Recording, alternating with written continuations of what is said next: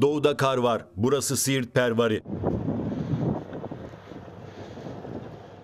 Aniden bastıran kar yağışı nedeniyle 14 köyün ulaşımının sağlandığı Geçittepe köyü yolu kapandı. Kapanan yollar İl Özel İdaresi ekiplerinin çalışması sonucu yeniden ulaşıma açıldı. Ağrı'da da gece başlayan ve sabah saatlerinde de devam eden kar yağışı kent genelinde etkili oldu. Sabah erken saatlerde evlerinden çıkan vatandaşlar beyaz örtüyle karşılaştı. Park halindeki araçların üzeri karla kaplanırken bazı vatandaşlarsa araçlarının üzerindeki kar birikintilerini temizledi. Sabah kalktım, yine uykuda kalktım, kar yağıyordu. Bana çok güzel ya bizim memleket. Kar olmazsa biz yaşamayız burada.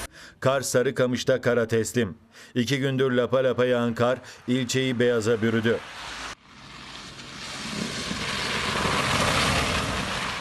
Hava sıcaklığının eksi 15 dereceye düştüğü Sarıkamış'ta lapa lapa yağan kar altında yürüyen vatandaşlar zaman zaman zor anlar yaşadı. Kar yağışı en çok Cıbıltepe Kayak Merkezi'nde bulunan otel işletmecilerinin de yüzünü güldürdü. Van'ın Başkale ilçesinde etkili olan kar yağışı da ilçe merkezini beyaza bürüdü.